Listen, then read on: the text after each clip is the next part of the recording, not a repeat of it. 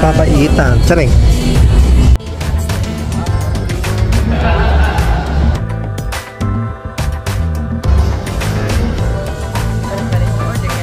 Itadakimasu.